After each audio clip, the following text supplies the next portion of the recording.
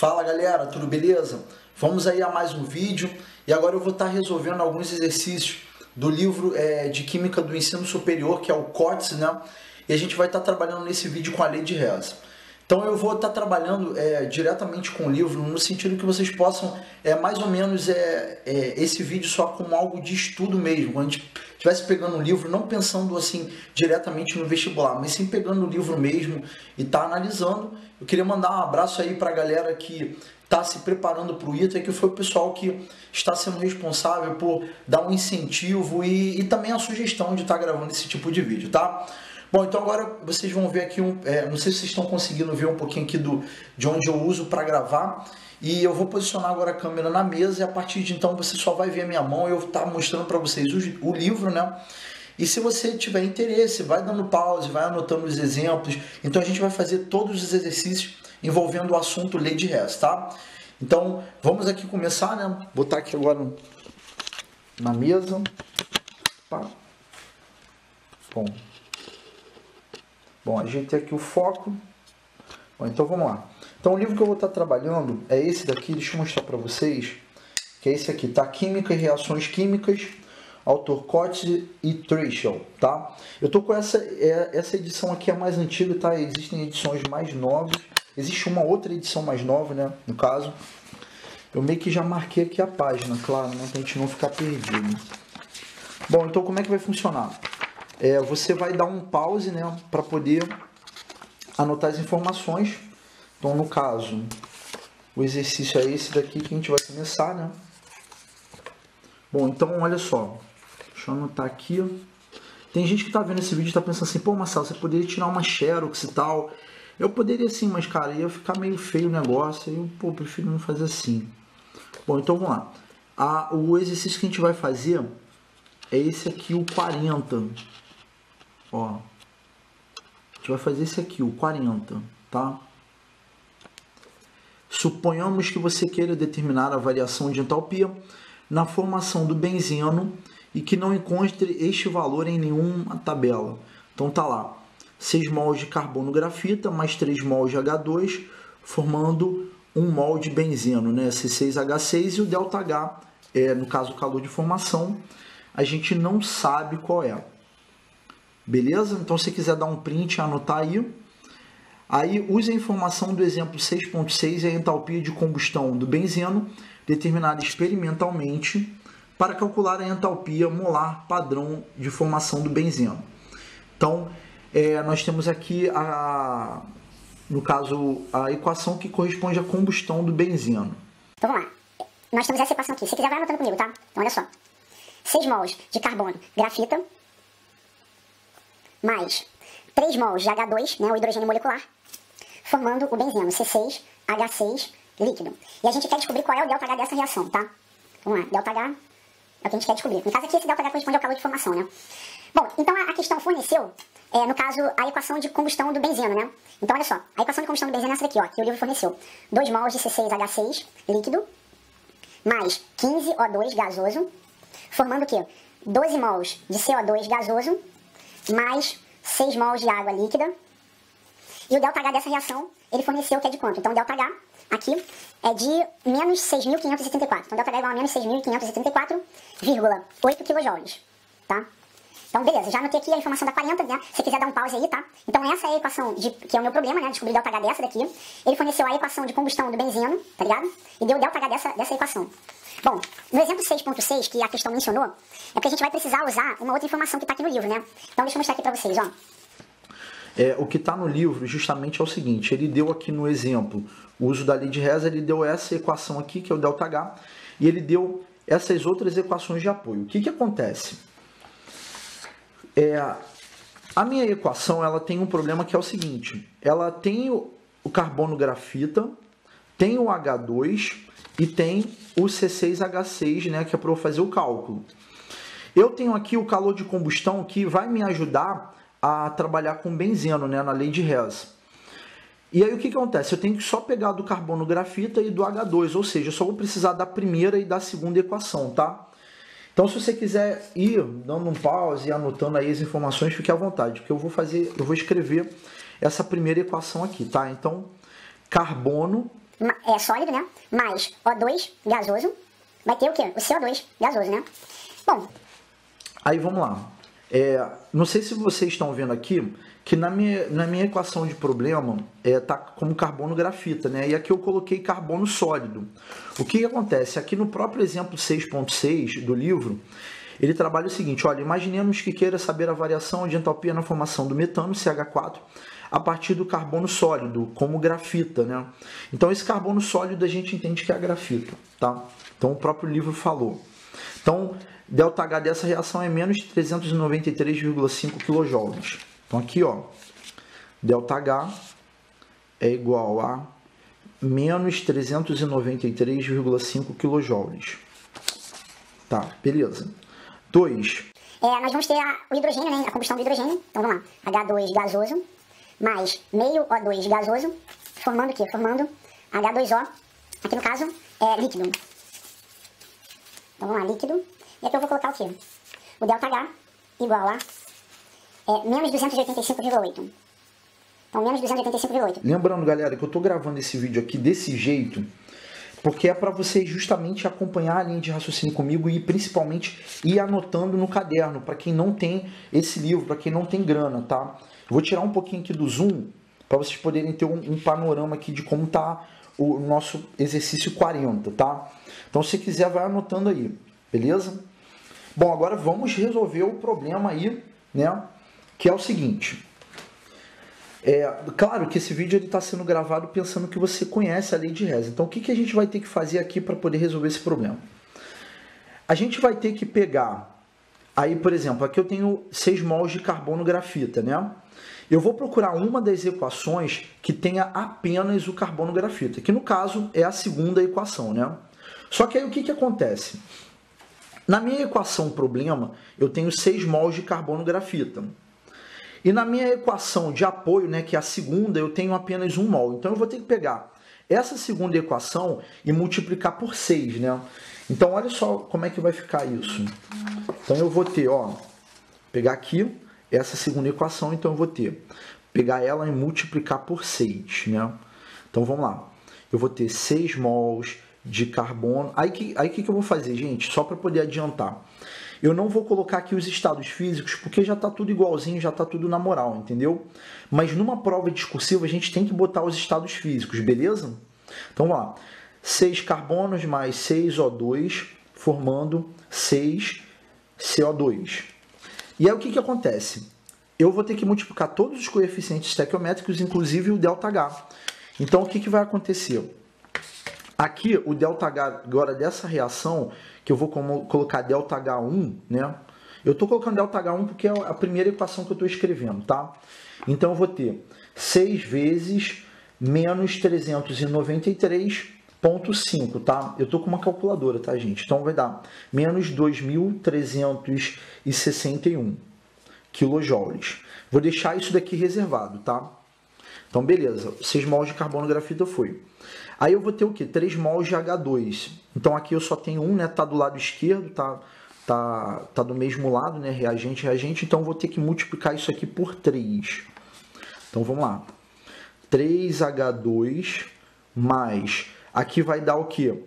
3 vezes 1,5, eu vou colocar aqui direto como 1,5, tá, gente? 1,5 O2, aí vai, aqui vai ser gasoso, né? Eu falei que eu não ia botar os estados físicos e 3 mols de H2O líquido, tá? Bom, é, poderia ter colocado aqui também 3 sobre 2, que dá no mesmo, né, cara?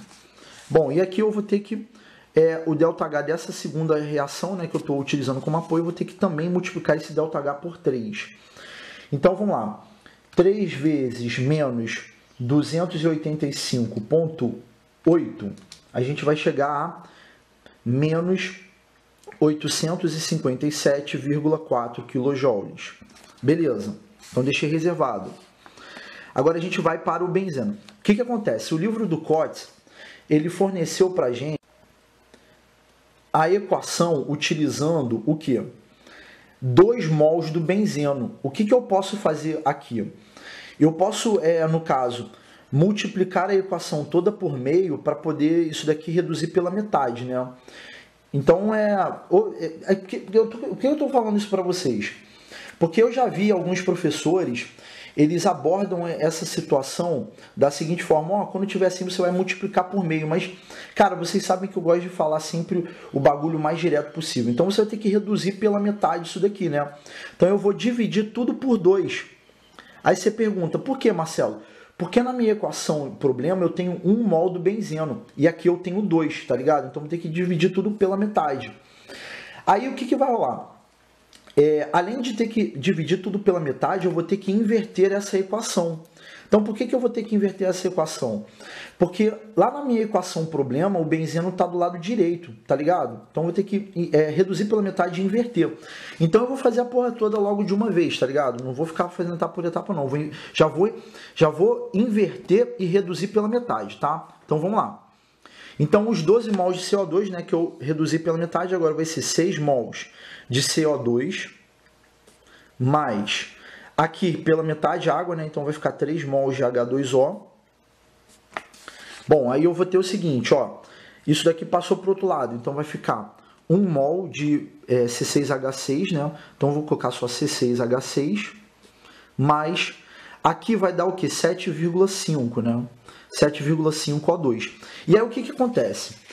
Quando eu inverto a minha equação, vocês sabem que o ΔH vai mudar só de sinal, vai inverter.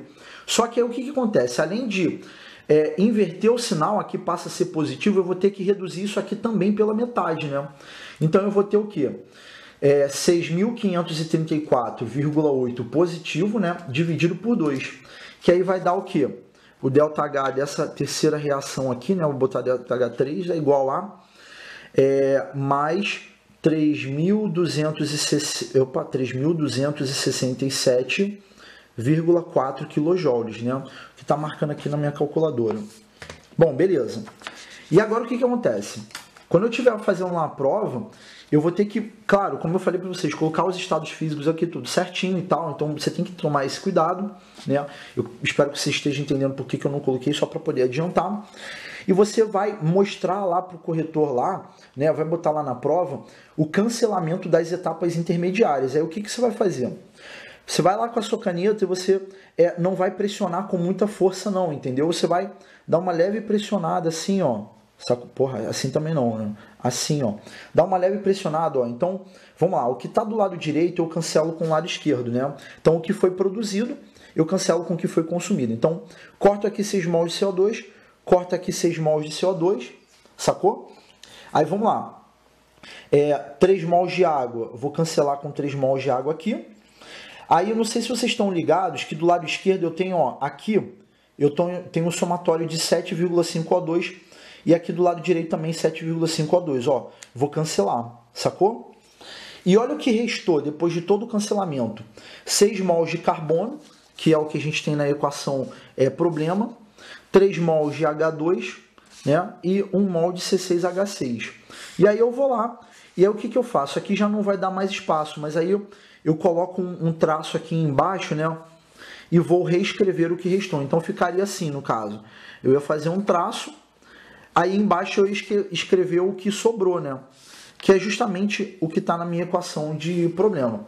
Se por acaso você estiver fazendo bagulho e tiver assim, ah, ah, Marcelo, sobrou ou faltou, cara, muito provavelmente você fez alguma coisa errada, entendeu?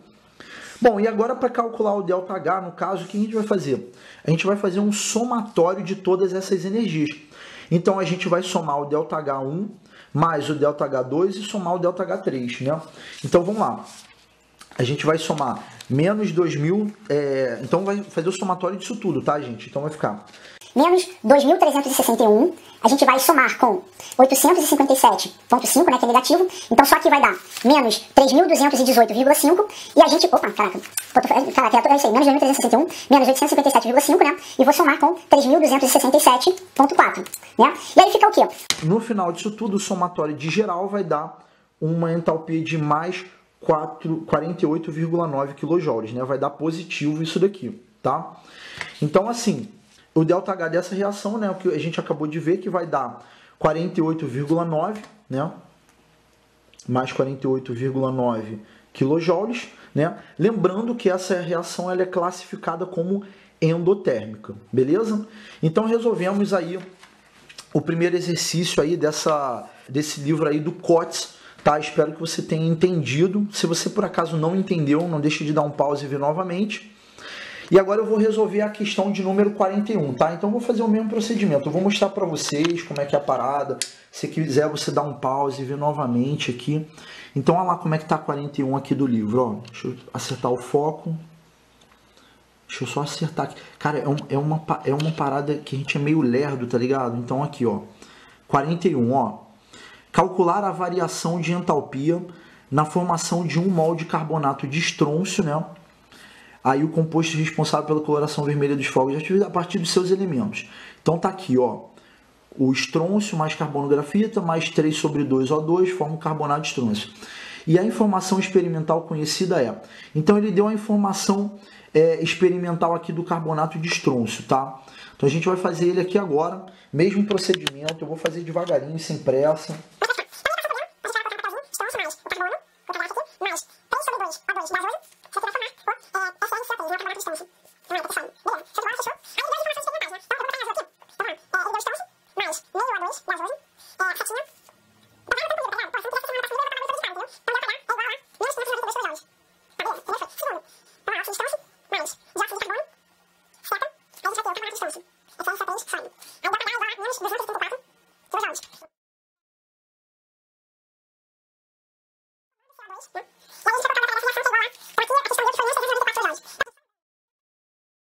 Que a gente já tem as, as equações de apoio com o ΔH, a gente vai tentar descobrir o ΔH dessa daqui. Então, o procedimento é o mesmo. Então, vamos lá. O primeiro camarada, o estrôncio, tem alguma equação em que só aparece ele? Tem, e é a primeira. Não sei se vocês já estão vendo que tá do lado esquerdo, tá do lado esquerdo, é um mol e é um mol, então eu vou deixar ele aqui, tá de boa, tá? E aí o que, que acontece? É, o segundo participante, eu tenho o carbono grafite, né, que também está aqui na terceira equação, que está do lado é, esquerdo e também está do lado esquerdo. Então eu, eu não vou mexer nele, né? Tá, tá igualzinho o número de mols. Aí o que acontece? Depois eu tenho um O2. O que, que rola? O O2, gente, não tem nenhuma equação de apoio para ele, porque o O2 aparece na primeira aparece na, na terceira equação, então eu também não vou mexer. E o carbonato de estrôncio está do lado direito, e aqui na minha equação de apoio, né, que é a segunda, também está do lado direito. E aí o que, que acontece? Automaticamente nesse exercício do COTS, tá tudo arrumadinho, então eu nem vou reescrever isso daqui, nem vou manipular, porque já está tudo certo. Então se eu cancelar as etapas intermediárias, olha só, se eu cancelar o óxido de estrôncio com óxido de estrôncio, né, do lado direito e do lado esquerdo, é, eu já, já eliminei um cara, né, que não aparece na minha equação, é problema. Posso cancelar o dióxido de carbono produzido com esse aqui consumido, né? Posso cancelar, é, no caso mais o que? Cara, não posso cancelar mais nada, ó. Então olha o que sobrou, ó. É, estrôncio, sobrou carbono grafite, né? Aí nós vamos ter 3 sobre 2 O2, né, que é o somatório desses dois aqui, que vai dar 3 sobre 2, e o carbonato de estrôncio. E, cara, eu só vou agora somar é, essas energias, né? Então, nesse exercício do COTS, é, acredito que o autor colocou, é, no caso esse é o exercício 41, colocou justamente para você perceber e ficar meio intrigado, né? Tipo, pô, caraca, então não é para fazer nada, é só para só para cancelar as etapas aqui que não preciso manipular. Então, vamos somar só essas energias aqui. Então vai dar menos 592 é, somado com menos 234 somado com menos 394. Bom, então o ΔH dessa nossa reação, ó, o cálculo que eu fiz vai dar menos 1220. Então, ΔH aqui é igual a menos 1220. E aí o que, que acontece? Pô, a gente acabou de descobrir o ΔH da questão de número 41, né? É, faltam só mais duas para terminar essa etapa do COTS, né, lei de Reza. Eu queria só dar um bisu para vocês, é o seguinte, que essa questão ela trabalha a questão, é, vocês viram lá no enunciado, a questão da coloração do, dos fogos de artifício. Então o que, que acontece? Cara, nunca é demais relembrar uma paradinha que é o seguinte: como que é, aquele modelo de Bohr, né, ele explica essa questão da emissão de, de luz, né? Então você tem, pô, é, vamos botar aqui o núcleo do átomo, e você tem um elétron aqui no nível é, no nível de energia dele, né? No seu, é, digamos, porra, cara, no estado fundamental, tá ligado? Aí você tem os elétrons ali com o menor nível de energia né, possível, né? E aí o que, que acontece? É, quando você tem uma situação de fogos artifício, é, só estou relembrando isso com vocês, tá, gente? Só aproveitando porque, porra, a gente está estudando juntos. O que, que vai acontecer, cara? Quando esse elétron né, absorve energia, ele faz um salto para um nível de energia maior, né? Estando, no caso, o átomo excitado, né? Aí o que, que acontece? Quando ele volta para o seu nível, é, para um menor nível de energia, ele vai emitir radiação eletromagnética, né? E a gente consegue perceber que determinados elementos químicos é, eles emitem uma luz específica. Então eu sempre recomendo que o pessoal é, olhe Aí, eu, eu, cara, eu não vou colocar isso na descrição do vídeo. Se você tiver interesse, você digita aí no, no aí no YouTube e pesquisa. Eu, cara, eu recomendo que vocês vejam um vídeo que é do teste da chama. É, e quem fez isso, cara, foi o departamento de química da USP. Então, se você digitar isso aí no YouTube, vai aparecer lá é, um, um, um, não é USP especificamente o nome do canal, não, mas é um bagulho lá, Departamento de Química da USP. Vocês vão ver, tá ligado? Então ele, pô, tem uma boa explicação lá, ele fala lá e tal, enfim. Bom, então eliminamos a questão de número é, 41, tá? Bom, vamos agora à questão de número 42. Então, se você por acaso não entendeu, dá um pause e veja novamente. Bom, então o que, que vai rolar? Deixa eu dar um zoom aqui.